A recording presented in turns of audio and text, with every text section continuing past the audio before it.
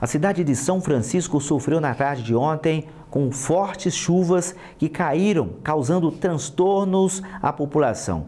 Segundo a Defesa Civil do município, 32 casas foram alagadas e duas famílias foram desalojadas.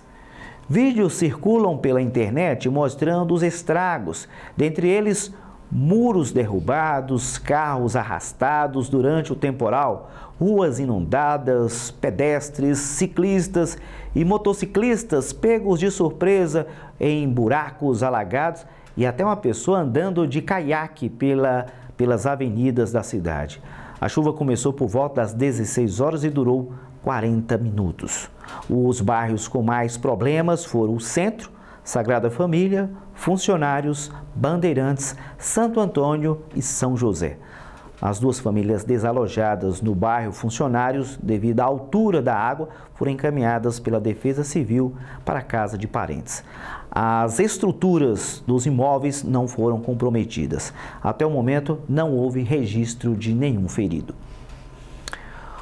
O responsável pela Defesa Civil de São Francisco, Francisco Romney Barbosa, disse que segue monitorando as áreas atingidas e um plano de emergência já foi organizado.